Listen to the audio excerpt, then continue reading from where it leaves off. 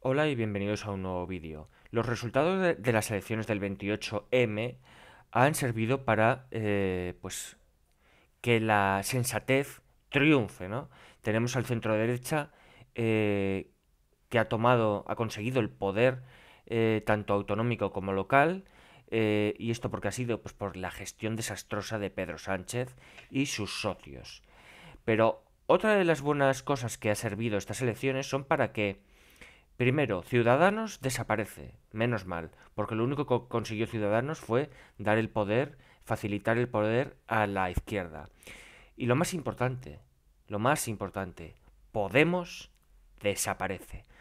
Eh, Ciudadanos ya ha dicho que, que no se van a presentar a las elecciones del 23 de julio y Podemos eh, por sí sola tampoco se va a presentar porque ya hemos visto que en mayo han desaparecido eh, de las ciudades más importantes y las comunidades más importantes. En Madrid ni siquiera eh, han conseguido eh, ningún, ningún puesto, ¿no? Ningún concejal ni ningún diputado autonómico. Con lo cual, Podemos no tiene ya ningún futuro. Su único futuro es unirse, más bien, más que unirse es ser fagocitado por el partido político de Yolanda Díaz, Sumar.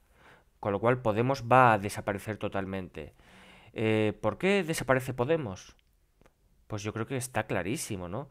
Eh, han estado en el poder y lo que han hecho durante, durante esa etapa de poder, pues no ha gustado a la derecha, por supuesto, pero es que no ha gustado ni a los que les han votado, ¿no? Al final, eh, mucho feminismo, etcétera, etcétera, nos, pero cuando crean una ley como la del solo sí es sí, que beneficia al delincuente en vez de a las mujeres, y encima nos siguen diciendo, cuando ya está clarísimo que han beneficiado a los, a los malos en vez de a las mujeres, nos siguen diciendo que es una ley buena para las mujeres.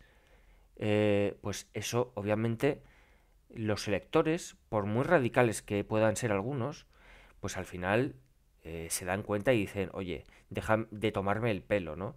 ¿Y qué ha pasado? Pues que se han quedado sin votantes.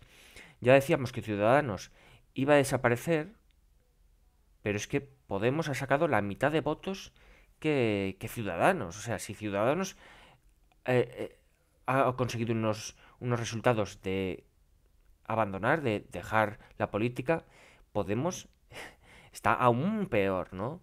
Con lo cual, adiós Podemos.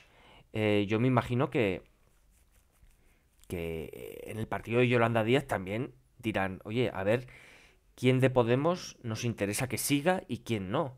Porque si yo fuera ella, diría, mm, no sé qué, qué poder de convocatoria le queda a, por ejemplo, Irene Montero, ¿no? Que es la principal responsable de algunas de esas terribles leyes. Y Belarra tampoco va, eh, va mucho mejor, ¿no? Con esa ley animalista que hasta para tener un háster vas a tener que hacer un, cursillo, vete tú a saber, o pedir una licencia, eh, no me jodas, ¿no? Eh, o, o su ley de familias con no sé cuántos tipos de familias. ¿Qué me estás contando? Una familia puede tener eh, dos madres, dos padres, un padre, una madre, da igual. Pero no hace falta eh, que eso esté escrito por ley. Cada uno tendrá su familia y ya está, ¿no? Pues al final hemos visto unas elecciones que han puesto eh, las cosas en su lugar, que dan sensatez. Y esperemos que en las próximas elecciones, adelantadas, eh, esto no solo se repita, sino que se repita con más fuerza. Que la, el centro derecha pueda conseguir un, una mayoría absoluta que permita gobernar y que permita eh, deshacer todo el mal que ha conseguido, eh, que ha provocado en España Sánchez y sus socios. Derogar todas esas terribles leyes. No modificarlas, derogarlas. Y básicamente eso, ¿no? Eh, es el fin de Podemos, el partido morado, el partido que ha conseguido, pues, dividir a España, ¿no? Que nos sacaban también el, el PSOE, ¿no? Pero nos sacaban el tema de la guerra civil, el antifascismo. Se hacían llamar los antifascistas, pero si algunas de sus acciones son más fascistas aún. O sea, esto de sus, cómo se expresan, ¿no? Cómo, por ejemplo, pretendían eh, hacer un... No, me acuerdo cómo, era la, la, expresión, ¿no? Pero como hacer el vacío a, a Vox. Oye, ¿por qué hacer el vacío a Vox? Es un partido al que han votado eh, los electores de forma democrática. Esto de no pactar con Vox, no, no hablar con Vox, ¿por qué? ¿Eso os parece democrático? No, no, no, para nada. Para nada. En fin, España va a estar muchísimo mejor sin Ciudadanos y, por supuesto, sin Podemos. Adiós al partido eh, moradito, pero nos viene el partido de Yolanda Díaz. No olvidéis de dónde viene Yolanda Díaz, de Izquierda Unida. ¿Y qué es Izquierda Unida? Es el Partido Comunista. Yolanda Díaz viene del comunismo. Miedo me da si logra eh, el poder o si logra una cuota de, de poder eh, importante. Miedo, miedo me da.